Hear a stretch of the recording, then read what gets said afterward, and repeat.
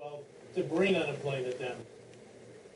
Yes, it's the main challenge, and uh, if we don't uh, tackle this issue, we are probably going to have a revolution within the revolution, you know, because people are, uh, are expecting us to resolve this problem and resolve it uh, as quickly as possible. Investment in 2011 nearly dried up after the Arab Spring. Yeah. Who are the specific partners you're talking to right now to get foreign direct investment in 2012? What can we expect on that front?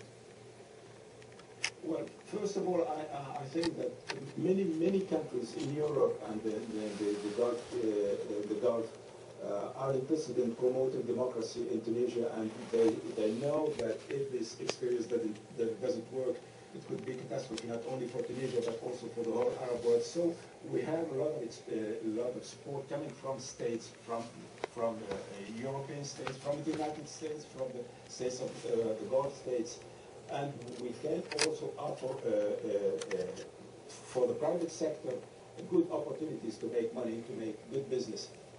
And once again, Moncef Marzouki of Tunisia, as the Tunisia and Egypt Libya's revolution had a clear economic underpinning. It was fueled by poverty, unemployment, and a general lack of opportunity. Up next, we take a look at how Libya is trying to reboot its business environment.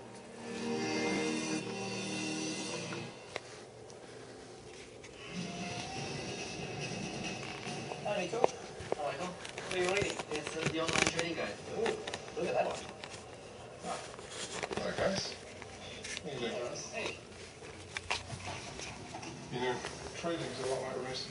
As a trader or an F1 driver, you need top security and support, quick execution, advanced technology and reliable research. And you need confidence. MIG Bank, because confidence is capital. Fusion Journeys in association with Emirates Airline. Hello tomorrow. I'm Chef Sanjeev Kapoor from India and I've been cooking for over 25 years uh, now. What we have is a unique uh, blend that we have of spices and herbs. In one dish we can have uh, 15 to 20 different uh, contrasting spices and herbs and yet to come up uh, with one dish. For my journey I'm going to the Danish capital Copenhagen how to cuisine. So